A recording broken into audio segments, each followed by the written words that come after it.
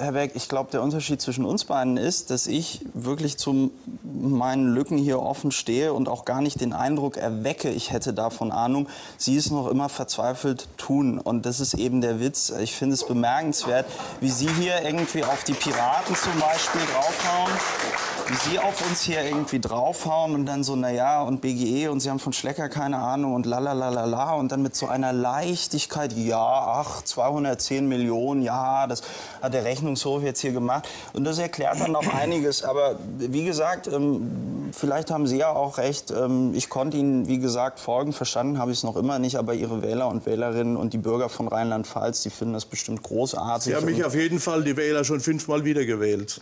Ja, vielleicht war das ein Herr paar Beck, Mal vielleicht zu können wir die. die, die Hohoho! Berlinerinnen und Berliner, wehrt euch mal dagegen, hier wird ein Loch gemacht. Was soll denn das? Ist das, ist das Politik? Ist das Politik? Ja, ich bin ja wohl mindestens so gut wie Herr Schneider, wenn nicht sogar noch besser. Ähm, aus demokratietheoretischer Sicht würde ich das so bewerten, dass Sie nicht rechnen können, denn die Wahlbeteiligung war 19,1 Prozent, 87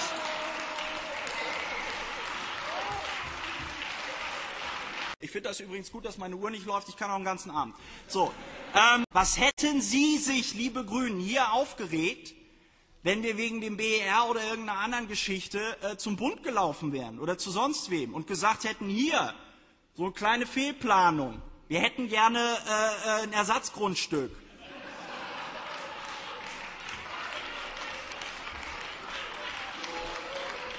Wenn Ben Becker und David Hasselhoff die Berliner Politik äh, kommentieren, dann haben wir ein ganz ernsthaftes Problem.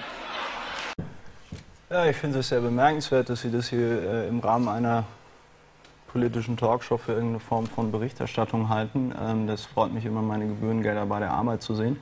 ich gucke jetzt mal Internet und ich verstehe, Das ist das Problem. Sie gucken Internet, Sie benutzen es nicht. Das ist genau der Punkt. Sie gucken, Ich ja, benutze schon.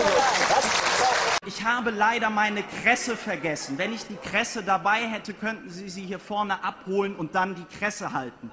Ja, Entschuldigung, also wir sitzen hier und es sind drei Kameras auf mich gerichtet und Sie stellen mir die Frage, warum glauben Sie, dass den Piraten noch zugehört? vielleicht Toll.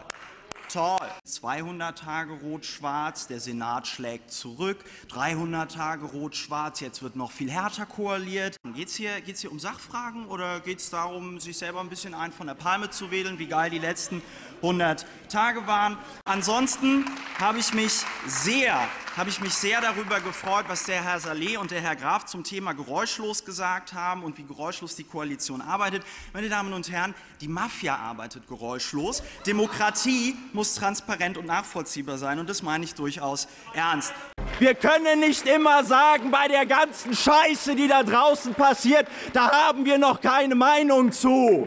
Wir können doch nicht, ja, Kampfdrohnen werden gekauft, irgendein Sparpaket, sonst irgendein Scheiß. Haben wir noch keine Meinung für. Müssen wir noch mal ein halbes Jahr warten und durch die Republik fahren. Und da ist die andere Hälfte nicht dabei. Wir brauchen diese Verbindlichkeit. Und wir wollen kein Delegiertensystem. Und ich komme zum Schluss.